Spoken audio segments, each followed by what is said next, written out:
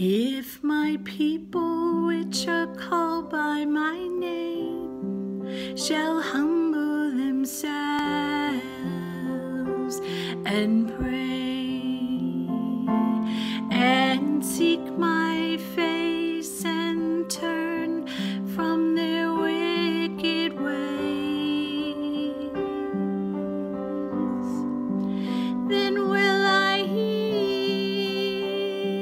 from heaven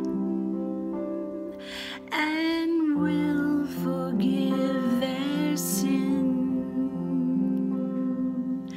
and will heal their land. Second Chronicles 7 14.